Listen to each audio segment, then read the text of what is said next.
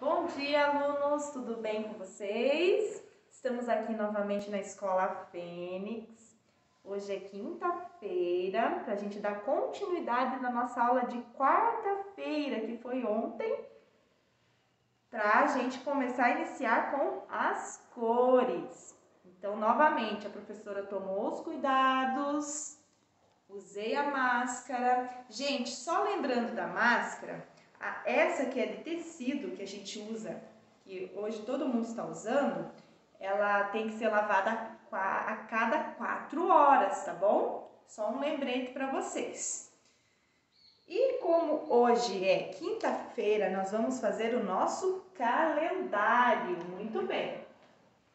Então vamos colocar hoje, quinta-feira. Vamos colocar aqui.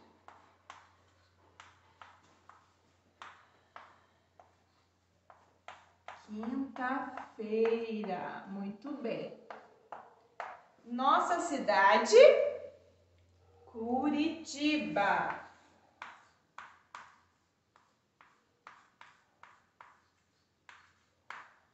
Se ontem foi dia 6, hoje é dia 7 do mês de maio. 7 de maio. E o ano, pessoal? 2020. Quando vocês estavam em sala, vocês respondiam para a professora, né? Então, vocês podem ir respondendo aí em casa. Assistindo o vídeo, vão respondendo. Então, Curitiba, 7 de maio de 2020. Hoje é quinta-feira. Vamos agora para o nosso mapa semanal.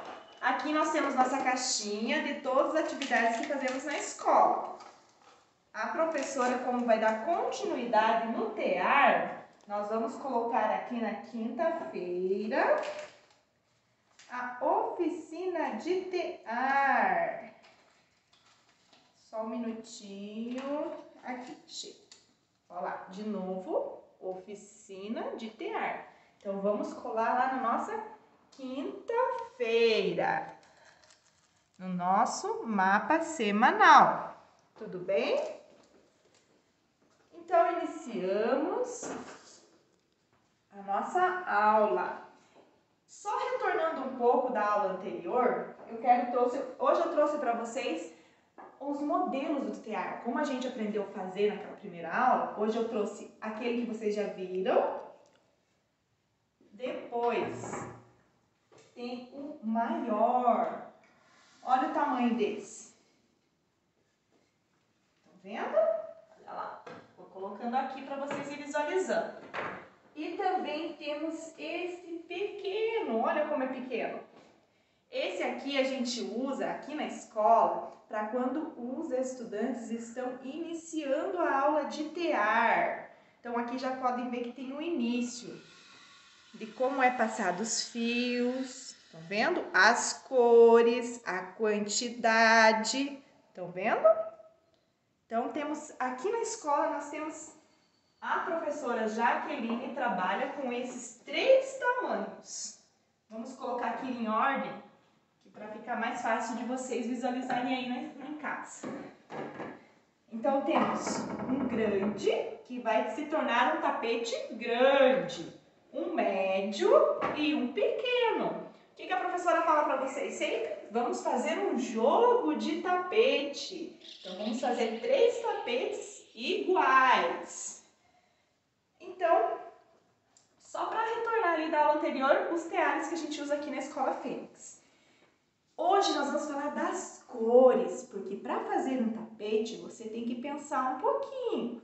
Não podemos colocar umas cores que não combinam. Dica para vocês que eu sempre uso. Ah, tenho várias cores, mas será que essa combina com essa? Não sei, fica pensando. O que, que a professora faz? ela junta assim, ó.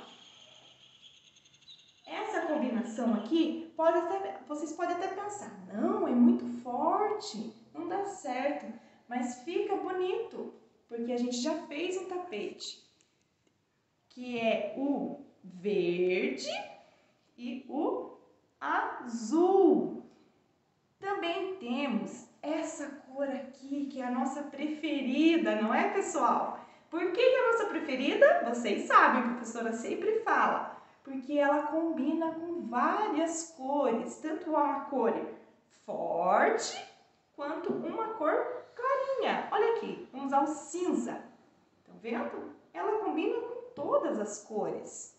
Olha, o vermelho então fica maravilhoso, não fica? Já fizemos.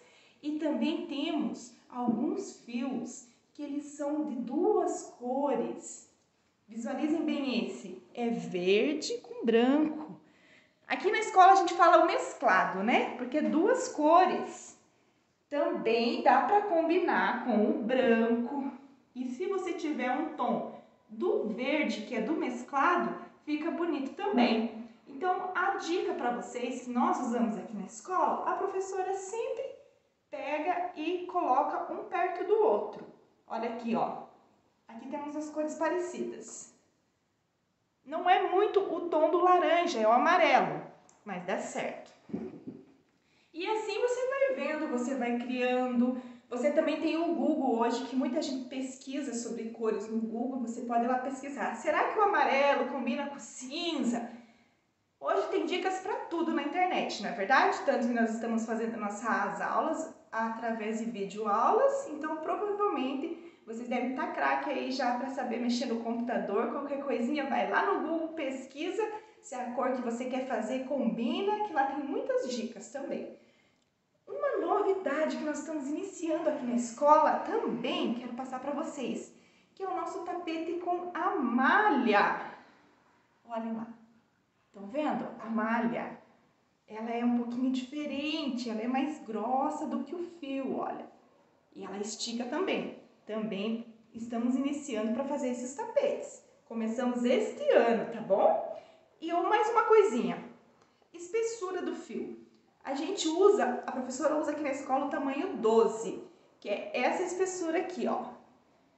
Então, quando vocês forem comprar o fio lá, peça o número 12 que dá certinho o tapete. Fica um tapete bonito, não fica muito cheio, muito grosso, fica num modo muito fácil de fazer e bem bonito, tá bom? Então essa, esse é a dica das aulas de tear com as cores, tá bom? Então um abraço para vocês e até a nossa próxima aula.